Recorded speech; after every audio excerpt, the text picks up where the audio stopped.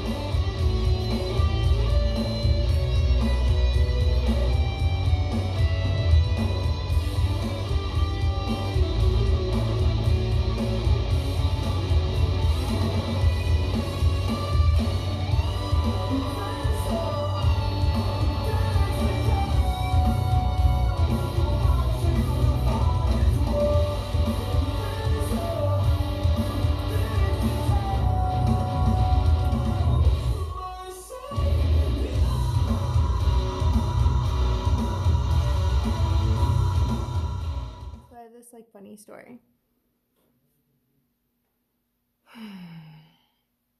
I used to be a DJ and I was actually afraid to like be a patron at my shows because I was terrified to be a part of the crowd because I always had this fear that I was like gonna get like um somebody was going to put a needle into me and I was gonna die, which is kind of ironic with like what we're experiencing right now. How like this pandemic and like getting a vaccine is probably going to wipe out a large majority of the population. So it's funny that like I came in with this fear of getting a shot. So anyways, I used to perform for thousands of people. But I was afraid to be a part of the people. I would come in through the back door and I would just be on stage. And I would spin trance beats with opera and um, I would get everybody to this synergy of love. And when they got to their maximum vibration of love, I would get on the microphone and I would ask them. One of the things that I used to always close with was, How are you feeling right now? Know that however it is that you're feeling exists within you and that you can tap into this anytime that you desire.